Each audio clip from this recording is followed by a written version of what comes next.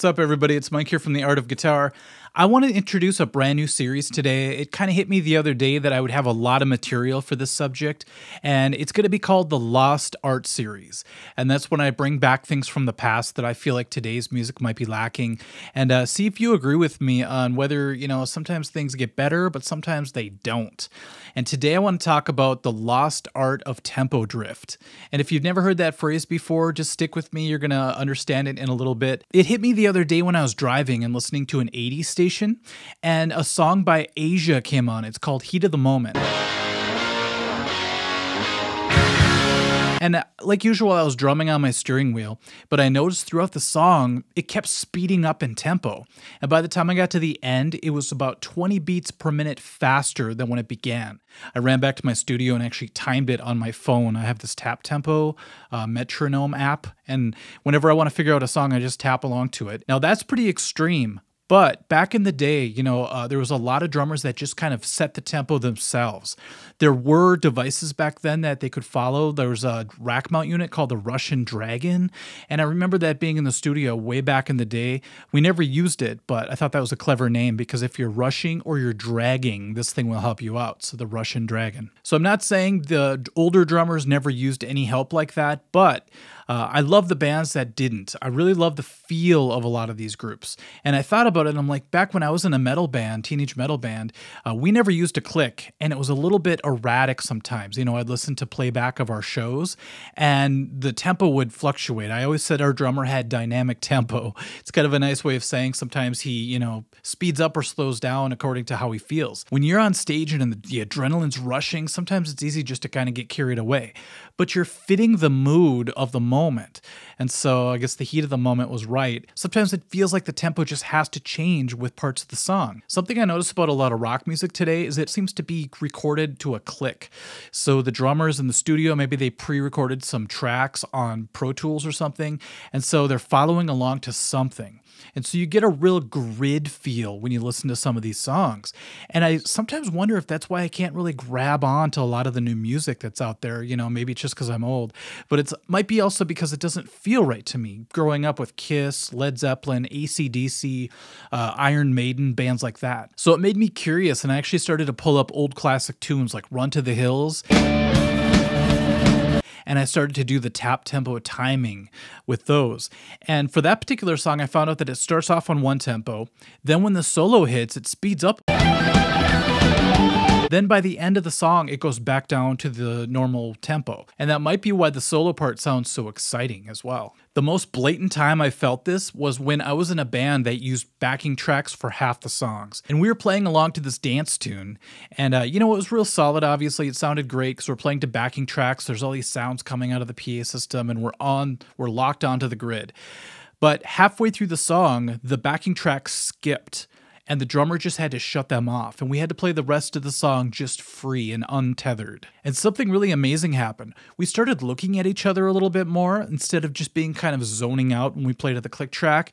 Uh, we started to use body language and looking at each other and being like, okay, what are you to do now? And the tempo fluctuated by a little bit, but it felt better to me. And at the end of the show, the drummer was actually like, do we really need to play with backing tracks? It felt so much better when we were just free to play what we wanted. So I've been working on some riffs, and last night I was on my couch jamming, and I thought, you know, this riff would probably sound a lot different if I played along to a click versus if I just play it free. And it sounds like this.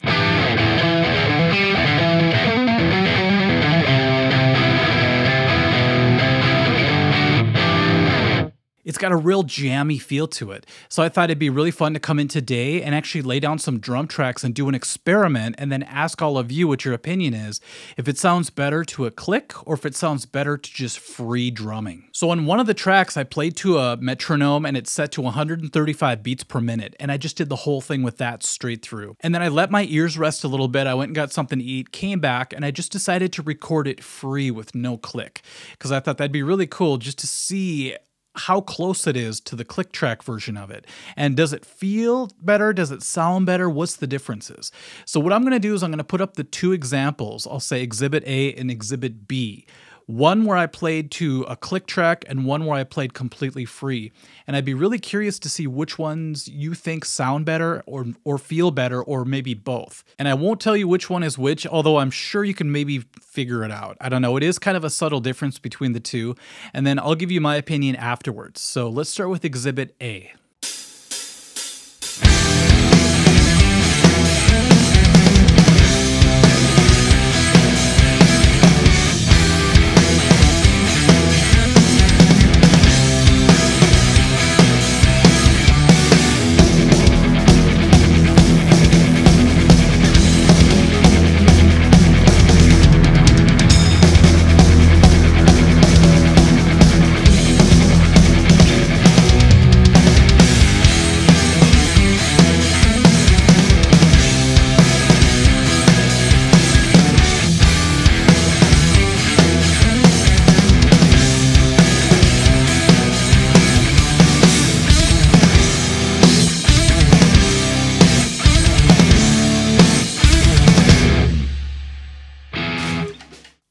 Like I said, that's a really fun track. It's got that real jam feel to it. Uh, let's try Exhibit B and see what you think. Here we go.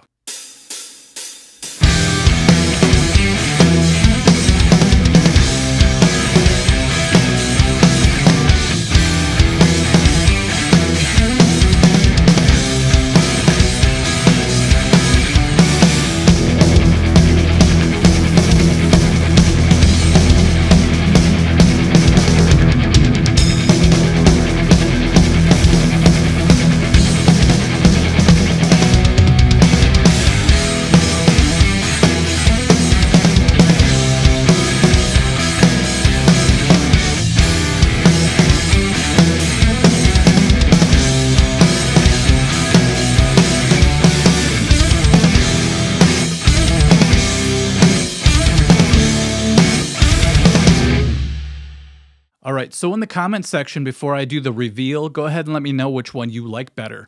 And let me know if you thought it sounded better or felt better or both, because that's really important to me. Okay, so here's the reveal. Exhibit A was actually the track that was free, that was done without a click. And uh, like I said, it's subtle, but in the beginning it's at 134 beats per minute. So it's one beat per minute slower than when I actually played to a click. And I guess it just felt right to play it at that uh, tempo in that moment. But then when the breakdown happens, I found that I sped up a little bit and then after that, when I came back out to the main riff again, I was so excited that it actually went up about four or five beats per minute right there. So you could kind of feel it get a little bit faster, not necessarily hear it, but you just feel that something happens after that breakdown. And then by the end, thankfully, I got back to 135. So I kind of tamed it back down a little bit at the end to finish off.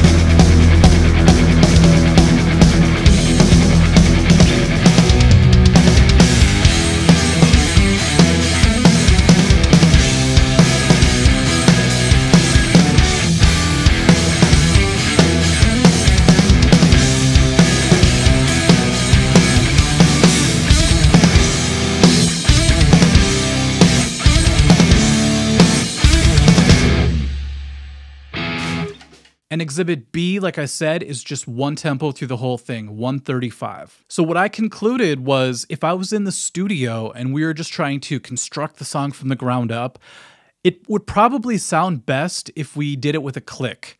You know, it'd be really predictable. The whole thing would feel pretty straightforward and tight. But you know, back in the old days when Sanctus would record, that's my old teenage metal band, would record our songs, like I said, we didn't use a click and they were kind of all over the place.